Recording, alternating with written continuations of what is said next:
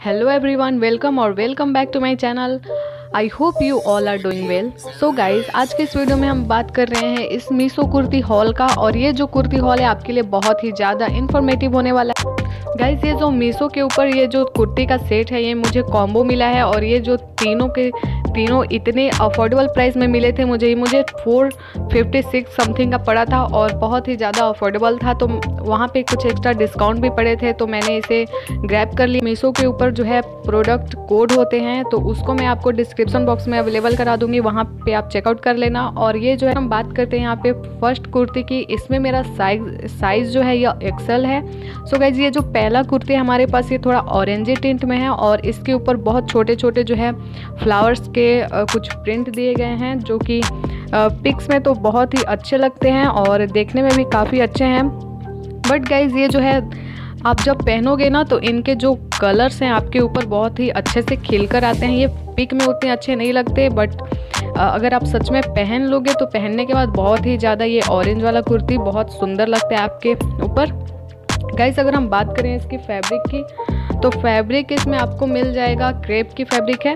और क्रेप की फैब्रिक है तो इसीलिए मैं आपको इतना रेकमेंड नहीं करूँगी कि आप इस कुर्ती को लें, क्योंकि इसकी जो फैब्रिक है, काफ़ी थिन है और इसका जो मटेरियल है, बहुत ही ज़्यादा थिन है गाइज़ और बहुत ही ज़्यादा ट्रांसपेरेंट है आपके लिए तो आप इसे बिल्कुल भी परचेज़ ना करें। और अगर आप कंफर्टेबल हैं इन फैब्रिक के साथ तो आप डेफिनेटली इसे बाई कर सकते हैं।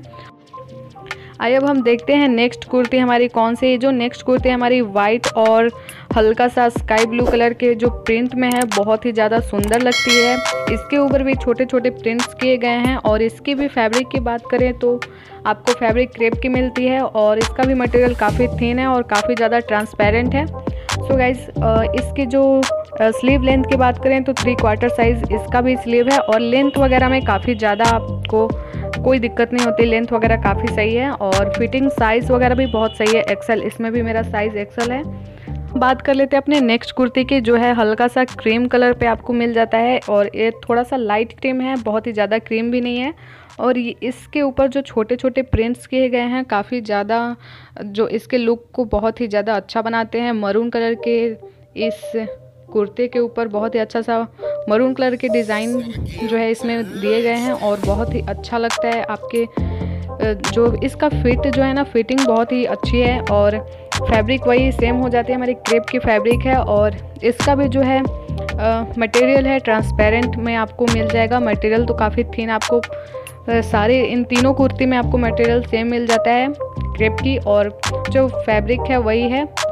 और तीनों के तीनों जो है ट्रांसपेरेंट लुक में आते हैं और आपको इसके अंदर भी कुछ इनर का कुछ पहनना होगा और उसके बाद आप कंफर्टेबल हो सकते हैं। और ये जो है स्लीव लेंथ है, इसका भी three quarter sleeve so guys that's all for today's video I hope you like this video and if you like this video please do subscribe my channel and share this video I will see you in my next video till then take care and bye bye